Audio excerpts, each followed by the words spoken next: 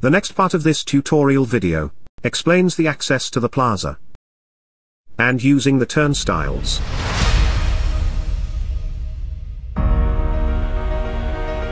The truck gates are prohibited to pedestrians and both parking sites are locked and secured 24-7. If you want to leave the parking location on foot, you can use the turnstiles that are available at both parking locations. Or use the speed lanes at the plaza. Always take your cargo card or parking ticket with you when you leave the parking area, or intend to use the facilities in the plaza.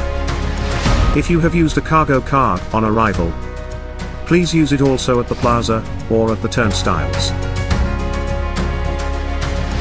If you have not used a cargo card, use the parking ticket which you received on arrival. Please note, Access to the plaza is only possible with the same parking ticket or cargo card you used when registering your vehicle on arrival. Also, if you leave the premises as a pedestrian, you can only return with the same parking ticket or cargo card that you used when registering on arrival. Please use the correct card reader. For cargo cards, the lower, vertical reader. For parking tickets, the upper, horizontal reader. Scan the parking ticket, with the barcode downwards on the reader. Similar procedures apply to the turnstiles. You are free to leave the site at any time, using the turnstiles, but a valid cargo card or parking ticket is necessary to re-enter the site.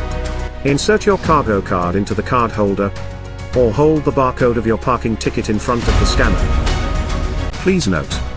Parking tickets and cargo cards are linked to the parking location. The north and south parking locations are separate. You only have access to the location where your truck is parked. The plaza is accessible from the public road, to everyone, regardless of the parking location.